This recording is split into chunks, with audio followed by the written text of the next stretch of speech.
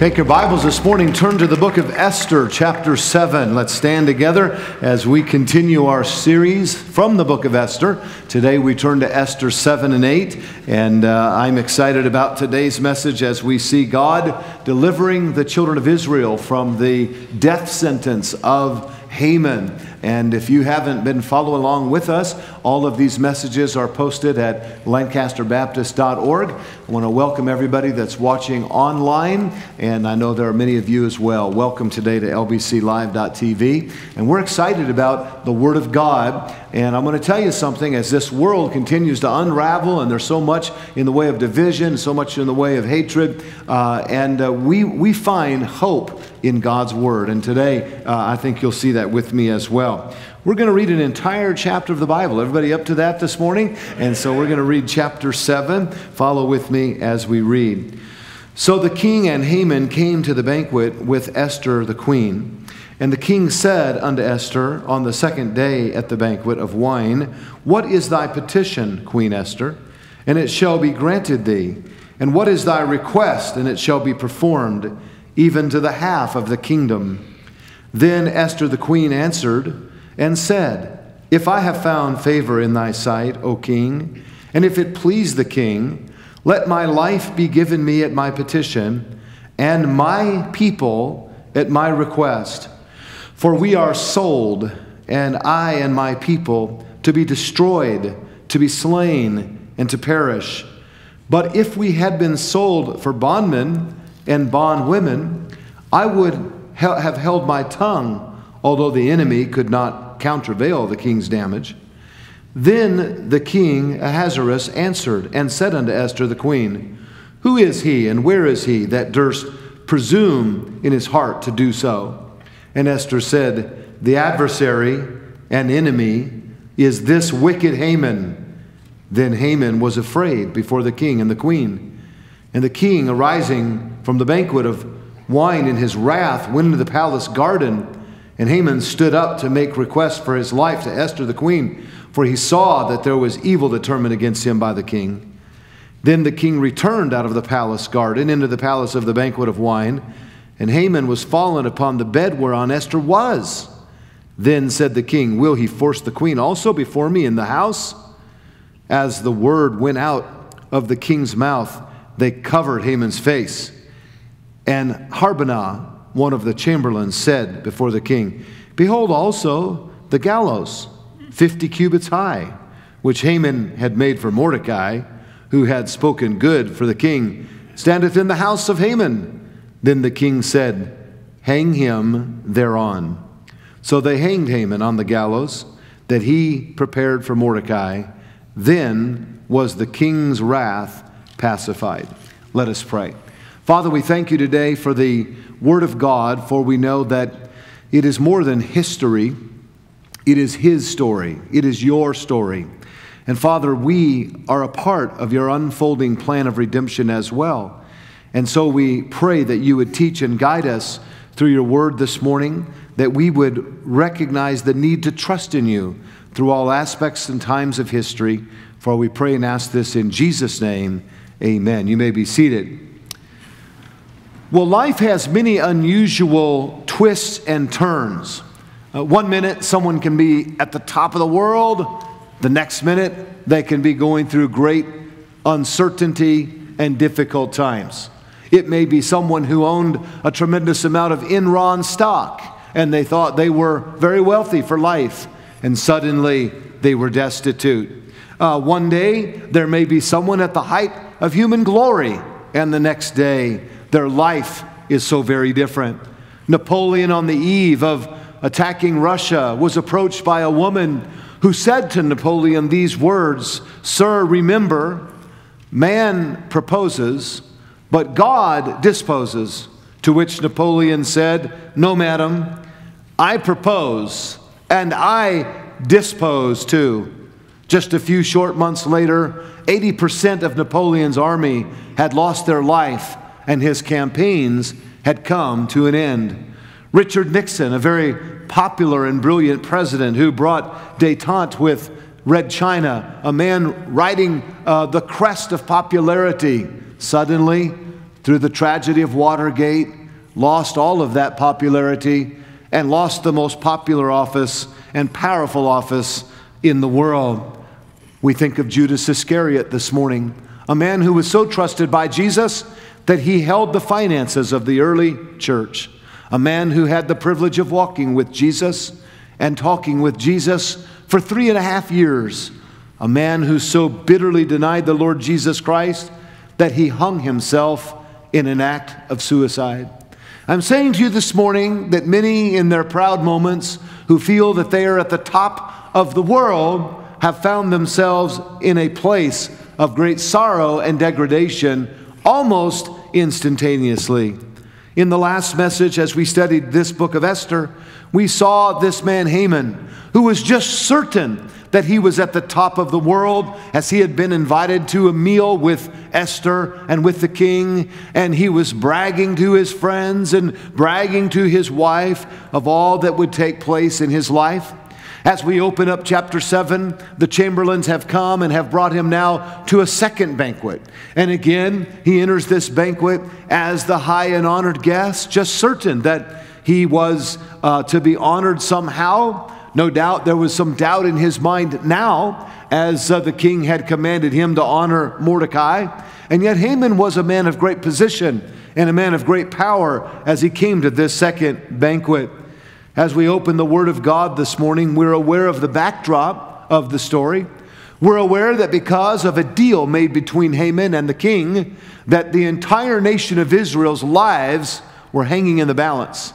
We're aware that the king had agreed to this idea of taking the lives of all of the Jewish people because Haman, in his anti Semitic ways, determined that this would be best for the kingdom and offered a great amount of money to the king, who had lost much of his income and much of his uh, royal bounty in his battle against the Greeks. And so, as we see God's plan unfolding, we are going to see this morning a plan of redemption. We're going to see that despite the difficult and dark hour the Jews faced, that God had a plan of protection for them. Hence, the theme of our messages these last several weeks God's got this. Because as we see the billows of darkness all around us, as we see wicked men in power in Sacramento and in Washington and everywhere in between, we must always be mindful that the heart of the king is in the hand of the Lord and that our God is sovereign in all of these matters. And this is what we see in the book of Esther. I want you to notice as we open chapter 7 this morning the request of Esther. The Bible tells us in verse number 3 Then Esther the queen answered and said, If I have found favor in thy sight, O king, and if it please the king, let my life be given me at my petition, and my people at my request. Now, Warren Wiersbe wrote of this moment when they arrived at Esther's palace apartment, neither the king or Haman knew that Esther was a Jewess. Haman was probably still distressed because of the events of the day, but he composed himself and hoped to enjoy the banquet. Had he known the nationality of the queen, Haman would have either run for his life or fallen on his face and begged the king for mercy. Now, heretofore, Esther has not revealed to the king that she was a Jew. Uh, she had not availed that information to him. And it is apparent that the king, in signing many decrees and making many decisions, was not as attuned uh, to all that even Haman had done, as Esther is going to remind him in this passage today. And so we see the king literally prompting Esther, wanting to know what she needed. In fact, in verse 2, the Bible says the king said again, Esther, uh, he said, What is thy petition? Uh, it shall be performed unto thee on behalf of the kingdom. Again, the king is prompting and, and uh, he's being patient with Esther and he's saying to her, Listen, the sky's the limit, Esther. What is it that you want? This is the second banquet that you've invited us to. There must be something very important on your mind. By the way, how many of you men, particularly married men, how many of you have been married long enough to know that when your wife is being very, very nice, and she's putting on pounds of oil of Olay and makeup, and she's making you not just one meal, but two meals, she probably does have something she wants to ask. And that's what's going on here. Uh, there's a preparation of the heart through the meals and uh, through all of the entertainment of Esther. And the king is prompting her Esther, what do you want? Why are we having these meals together? Well, notice, if you would, secondly, Esther's petition. Esther had a sensitive ear, a wise heart. She sensed something wasn't quite right, so she had not been pushing her request, and now she begins with her petition. And I want you to notice how to approach a king. I do believe there are parallels here, not only for approaching someone that you may need to speak to this week at work or a supervisor, but even as we approach the throne of God, I believe there's a heart that can be seen in Esther that we must have in our time of prayer. And the Bible says in verse number three of chapter seven that Esther said, If I have found favor uh, in thy sight. We notice here a submissive spirit. We notice that she is approaching the king not with a demanding attitude, but with a submissive attitude. Not trying to tell the king what to do. We're taught by the Lord Jesus in his great disciples' prayer that we're to pray, Thy kingdom come. Say the next part with me, Thy will be done. Thy will be done. And uh, oftentimes in today's society, people are picketing, uh, people are marching, people are throwing tomato sauce at artwork. I mean, some of the most ridiculous things that the earth worshippers do, some of the most ridiculous things that the unsaved do to somehow get attention. But the mark of a godly man or woman is not their dramatics, but it is their humble heart. This is what I believe pleases the Lord as well. And Esther came to the king with a heart of submission. She comes with a heart of trust. She's not demanding, she's requesting. The Bible is clear to us in Proverbs 3 Trust in the Lord with all thine heart, lean not unto thine own understanding. In all thy ways acknowledge him, and he shall direct thy path. Here we see the submission of Esther. But we also see a boldness, and this is the wonderful balance in prayer, for we are taught to come humbly before the throne of God. We're also taught to come boldly to the throne of God by the blood of Jesus Christ. And notice, if you would, again in verse 3, it says, Let my life be given me at my petition, so my people and, and my people at my request. Notice in verse 4 For we are sold, I and my people, to be destroyed and slain and to perish. But if we had been sold for bondwomen and bond, bondmen and bondwomen, I would have held my tongue, although the enemy could not countervail the king's damage. Now, up until this point, as we said a moment ago, her nationality had not been revealed. And Esther uh, is someone that is uh, uh, seeking God's wisdom. I believe she was praying every single step of the way as she had these meetings. And, and, we see that she says in this passage, she says, Let my life be given me at my petition and my people at my request. She is now identifying with her people. It is not that she did not attempt to identify before, she never was asked. Uh, I don't know that there was ever reason, particularly uh, prior to this time. Some have surmised that maybe she should have.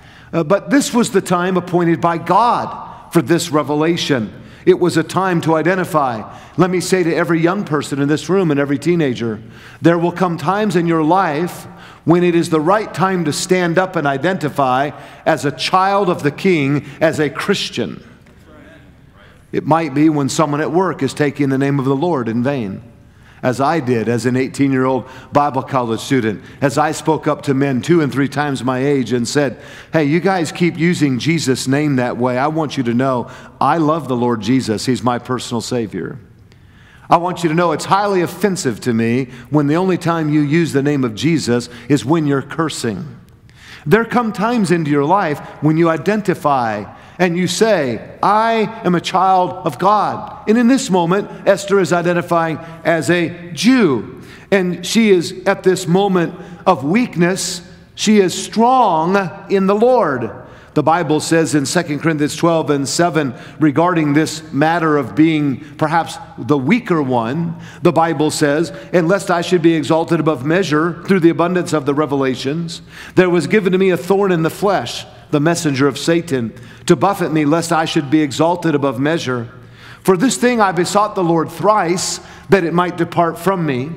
And he said unto me, My grace is sufficient for thee, for my strength is made perfect in weakness. Most gladly, therefore, will I rather glory in my infirmities, that the power of Christ may rest upon me.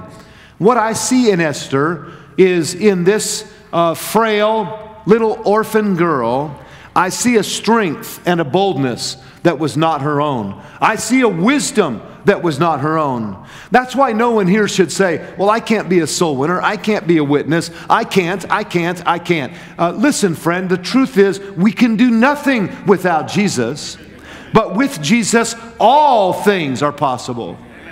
And the story of Esther tells us that with Jesus, a 17 year old girl who is an orphan Jewess in a foreign land is going to be given the most prominent and powerful place in all of the kingdom because God rejoices in empowering weakness.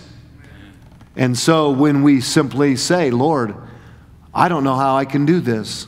I'm weak, I'm frail, I'm tired, I'm weary. God, work through me. And Paul, he said, Lord, I, I want you to heal me. I want you to heal me. And it is not always God's will to heal in every situation. He said, Paul, I'm going to give you grace. I'm going to give you strength. And the Apostle Paul said, Most gladly, therefore, will I rather glory in my weakness, that the power of Christ may rest upon me. And so Esther's petition is made from a standpoint of human weakness, but we see also the power of God in her life. Well, we want to notice, thirdly, here, the Jewish plight. I want you to see not only the king and the queen, but what about the Jews? Notice, if you would, in verse 4, again, the Bible speaks here, and it says very simply, For we are sold, and I and my people. And we are sold, Esther says, and she brings a reminder uh, they were sold to be slain. Uh, she is reminding the king that he had been paid blood money for the Jews. She's reminding him that when Haman gave great amounts of wealth to him, that he was paying for murder. He was paying to take lives that were innocent. She used the actual words of Haman from Esther 3 and verse 9, where it says, Let it be written that they may be destroyed, and I will pay 10,000 talents of silver to the hands of those that have the charge of the business to bring it to the king's treasuries. This blood money that the king had received was perhaps to him just another transaction, just another way to uh, make some money, just another way to advance his kingdom. And how many times have wars been fought this way? How many times have people like Vladimir Putin attacked innocent villages in a place like Ukraine simply to expand his namesake, simply to expand his legacy? Never mind the fact that babies and grandmothers' lives are being snuffed out by power hungry men. And this is sometimes the case that the lives of the innocent are not even thought about on the part of these wicked and ungodly men. Esther is reminding the king of the moral nature of war, of the immoral side, if you will, of the ungodly loss. Esther continues speaking to him in verse 4. She said, If we, if we would have been sold to be bondmen and bondwomen, I would have held my tongue. Uh, I want you to imagine, if you would, for just a moment, the diplomacy here of Esther. I want every college student and teenager to realize that the Bible says, if any man lack wisdom, he can ask of God who giveth to all men, uh, and, and God will give you wisdom. James chapter 1 and verse 5. And here's a woman with such wisdom. She is acting here as a diplomat, even in the midst of pleading for her life she is saying to the king, if, if we would have merely been sold into slavery, I wouldn't have even bothered you. But this isn't slavery, king. This is blood on your hands, king.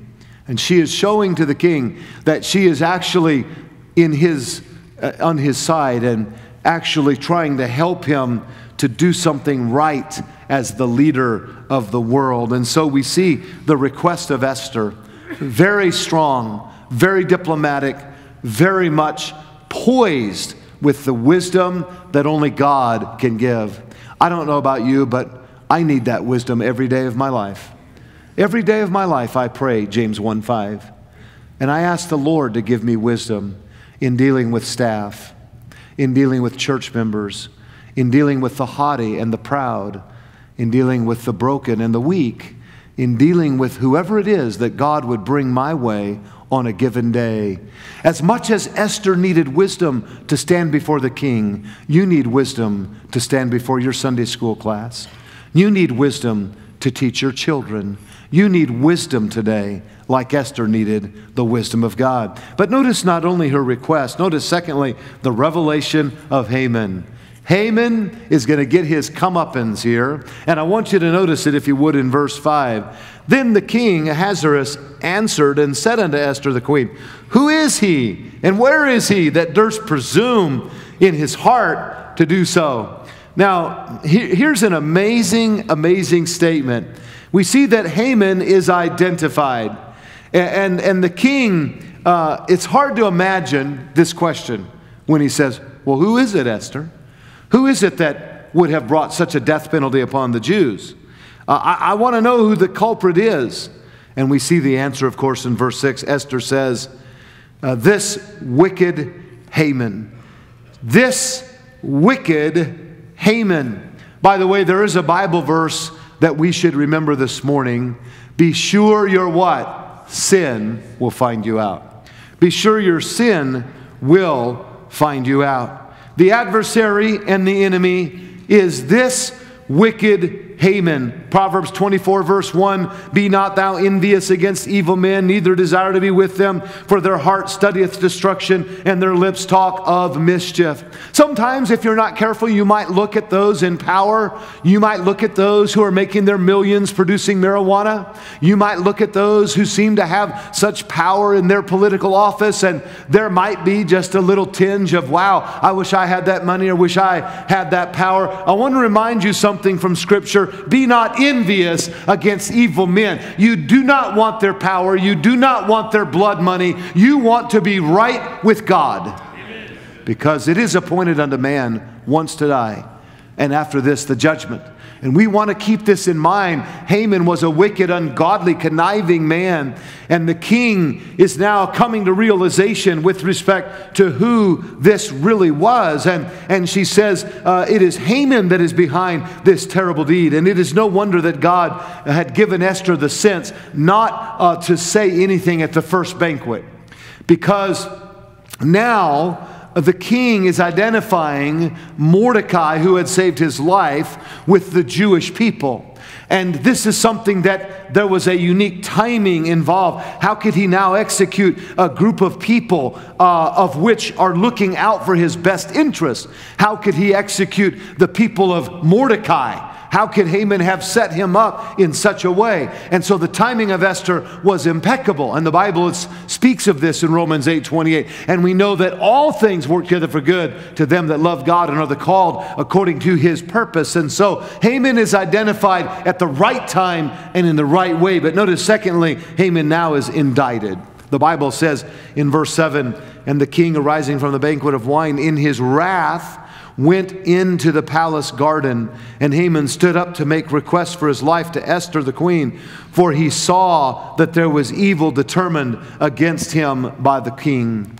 Now, Haman is indicted and we see the king is very, very angry. He goes out uh, to the garden. Uh, he is there, uh, perhaps uh, uh, sweating profusely, perhaps wringing his hands. I don't know what he was doing or if he was screaming out, uh, but we know the scriptures indicate he was full of wrath. And Haman comes to Esther. And the Bible says in verse 7 that he is begging for his life. he's now seeing what has happened.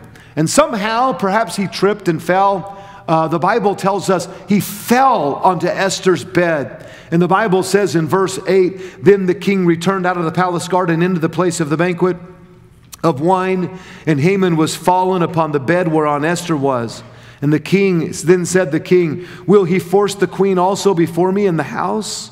As the word went out of the king's mouth, they covered Haman's face. Here, the word force speaks of molesting or violating. He says, This man who tricked me, this man uh, who is a, a man with, uh, who has put me into this terrible situation, is he going to take advantage uh, of my wife as well? He's being indicted at this moment, and, and uh, the guiltiness is, is rising with every passing moment. And so we see, thirdly, that Haman is punished.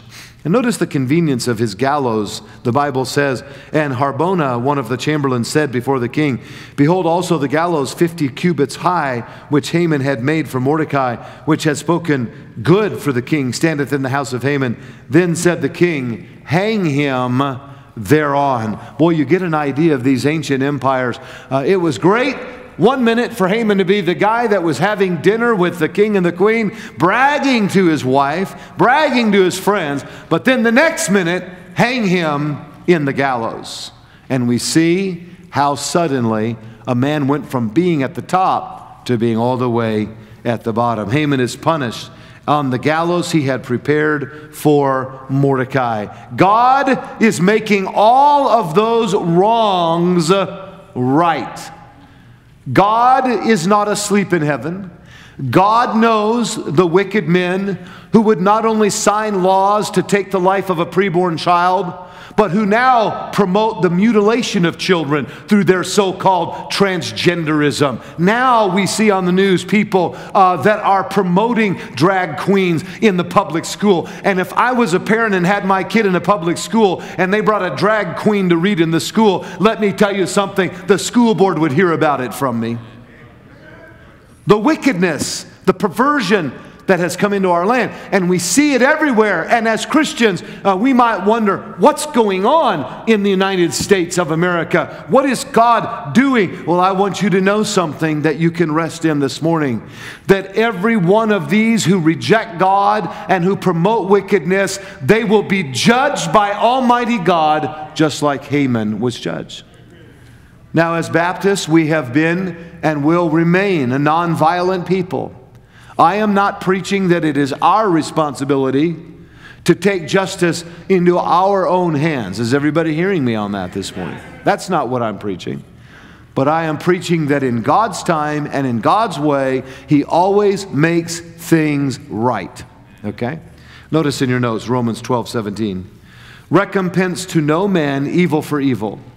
Provide things honest in the sight of all men. If it be possible, as much as lieth in you, live peaceably with all men. Dearly beloved, avenge not yourselves, but rather give place unto wrath, for it is written, Vengeance is mine, I will repay, saith the Lord. Vengeance is mine. Now, that does not mean vengeance is mine. Uh, as I said a moment ago, as a parent, I have not only the right, I have the responsibility to speak up for my children, to speak up for their uh, educational environment and so forth. But I have no right to vengeance. That is God's. And sometimes we wonder, well, why does God allow the compounding of a wicked man like a Vladimir Putin? Why does God allow that to grow and grow and grow, that wicked, evil influence? I do not know. I do not know why Hitler uh, uh, did what he did in massacring and killing millions of Jews. But I know this there is a God that will recompense for evil. And the, the Bible is very clear. He will repay. Vengeance is mine, saith the Lord. And so Haman is now the recipient of the vengeance of God. By the way, friend, I want to remind you, you don't want to be the recipient of the vengeance of God.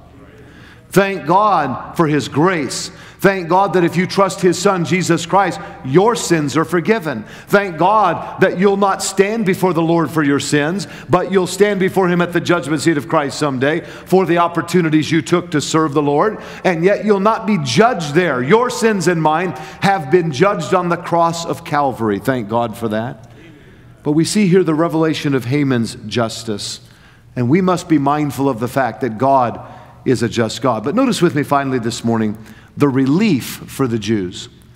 Perhaps the overriding story here is not merely Esther's faith, but it is the freedom that the Jews would receive. Haman's death did not automatically stop the evil decree. How do you, how do you kill one man and stop a decree that went about 127 provinces throughout the known world? Every one of those Jews were in peril. Every one of them could have been killed at any moment. And so we see how this takes place. Notice, if you would, in verse 1 of chapter 8. On that day did the king Ahasuerus give the house of Haman, the Jew's enemy, unto Esther the queen. And Mordecai came before the king, for Esther had told what he was unto her. In other words, Esther had indicated to the king that Mordecai was her cousin. And the king took off his ring, which he had taken from Haman, and give it, gave it to Mordecai. And Esther set Mordecai over the house of Haman. Now, here we see an amazing, amazing transference of power. Here we see Mordecai's destiny. Mordecai's identity has been revealed. He is the cousin of Esther. Uh, here we see that uh, sometimes the trials of this life, though they're difficult, uh, they are according to the presence and the timing of God. Uh, the Bible says in 2 Corinthians 4:17, "For our light affliction, which is but for a moment, worketh for us a far more exceeding and eternal weight of glory." Again, God was keeping track of all of this. Again, uh, the God who judged Haman is the God who promotes Mordecai. We see that God is in control of the entire situation. Romans 8 18, for I reckon that the sufferings of this present time are not worthy to be compared with the glory which shall be revealed in us. And I'm telling you, just as much as Mordecai was hated, just as much as Mordecai was put down, Christians today who are hated, preachers today who are put down, missionaries who are rebuffed, they will be rewarded in heaven by the grace of God. And this is a picture we see in the, in the story of Esther. But we see that uh, there is uh, Mordecai's identity being revealed and Mordecai being promoted in verse number two. And I want to say a small word about promotion. And I, I like what Butler wrote in his commentary God will provide promotions if they are necessary to do his work. You do not need to pull strings, know the right people, bribe the powers that be, or manipulate people to obtain high position. If you need promotion to do God's work, God will see to it that you get it and you will obtain it in an honorable way. What's the basis of that statement? Look in your notes at Psalm 75. For promotion cometh neither from the east, nor from the west, nor from the south but God is the judge. He putteth down one and setteth up another. In other words, when the time came, God knew how to promote Mordecai. And I watch so many people, and I'm going to preach about this briefly tonight as I preach from Second John and verse number 4 on, on how to discern God's work in your children's lives. And I'm going to speak to the fathers about how to discern God's will and how to find God's will. But I'm going to say, even this morning, uh, uh, promoting yourself is not how to find God's will. Pushing your resume is not always how to find God's will. Manipulation and, and uh, trying to make yourself look good on the internet. All of these things we see are not necessary in God's economy. God knows your address, my friend. And God will bring promotion when it's His time. You don't need to find yourself trying to interface. You don't need to try to get five stars or whatever it is on LinkedIn or wherever you go. There is a God in heaven who knows and has a plan for your life. We live in such a manipulative world. And I bring that to your attention because I do not believe Mordecai manipulated one moment. I believe to see uh, that we see in Mordecai a man who just patiently waited on God to do his work. What a novel thought. Mordecai's destiny comes to pass. Notice, secondly, the Jews' deliverance. Now, Mordecai and Esther, no doubt, are a part of a larger plan, as we said a moment ago. And notice in chapter 8 and verse 3 Esther spake yet again before the king and fell down at his feet and besought him with tears to put away the mischief of Haman the Agagite and his device that he had devised against the Jews. Notice verse 6 For how can I endure to see this evil that shall come unto my people? Or how can I endure to see the destruction of my kindred? Now, Esther is here beseeching favor, verse 3 says, and she besought him with tears. She is asking the king, Oh, king, my people, there's a death sentence upon them. There is a great need for their mercy. And the king provides freedom for the Jews. Verse 7 Then King Ahasuerus said unto Esther the queen and to Mordecai the Jew, Behold, I have given Esther the house of Haman and him that they have hanged upon the gallows because he laid his hand upon the Jews. Write ye also for the Jews as it liketh you in the king's name, and seal it with the king's ring. For the writing which is written in the king's name and seated with the king's ring may no man reverse. Mordecai is now allowed to write a decree to spare the life of all the Jews. And this was to go to all 127 provinces. The Jews would be delivered. And that brings us, thirdly, to the Jews' delight. Notice their delight in verse 15 of this same chapter. And Mordecai went out from the presence of the king in royal apparel of blue and white, and with great crown of gold, and with a garment of fine linen and purple, into the city of Shushan. Uh, and the city of Shushan rejoiced and was glad notice this the Jews had light and gladness and joy and honor. And in every province and in every city whithersoever the king's commandment and his decree came, the Jews had joy and gladness. Notice this now, and a feast and a good day. Notice, and many of the people of the land became Jews, for the fear of the Jews fell upon them. The Jews are now rejoicing. I want you to be reminded of Genesis 12 and verse 3 that there is a promise from God that He will protect the Jews and that any nation that understands and lives to that principle will be blessed. And as we see also some in Washington, D.C., rising with their anti Semitism, and we see it often around the world today, may we be reminded of the fact that God again protected his people in the book of Esther. I believe there are a few takeaways for us today from this passage as we close this morning. First, God, through Esther's request, redeemed the children of Israel. God is providing redemption, and God, through the work of his Son, the Lord Jesus Christ, redeems all who believe on the Lord Jesus Christ. Hebrews 7:25 Wherefore he is able also to save them to the uttermost that come unto God by him.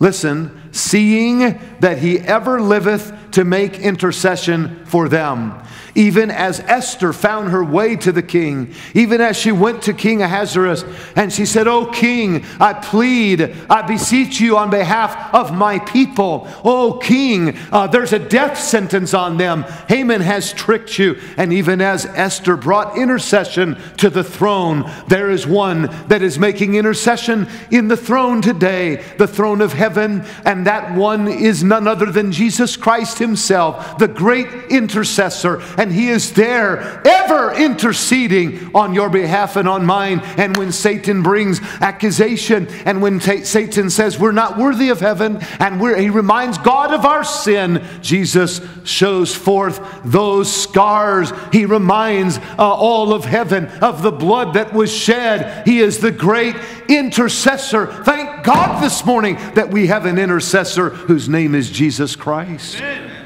we see not only the intercessory picture from Esther's life, but I want you to see something that was mentioned in the last sentence of this chapter.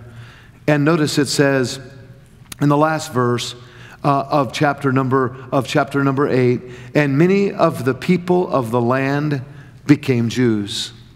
Now, I want you to pause for a moment and think of this. What would happen if there was such an outpouring of prayer and revival and power in the church. What would happen if God so demonstrated revival upon the churches of America that many would become Christians because they saw the power of God in our midst? Amen. This was the revival that was taking place. People were turning to God because they said, Wow, God's hand is on those people. God has protected those people. God put Esther there. God put Mordecai there. And the whole nation was realizing there is a God in heaven that is with these people. Oh, would be to God that America would realize there is a God in heaven who is with the children of God, the Christian today. What a great picture of revival and what a great request of prayer that every one of us as Christians should make. Dear God, may your glory glory rest in our lives and in our families and in our churches once again, that people will see your glory in your church, even as they saw your glory in the lives of the Jews of Esther's day. May it be said of our day as well.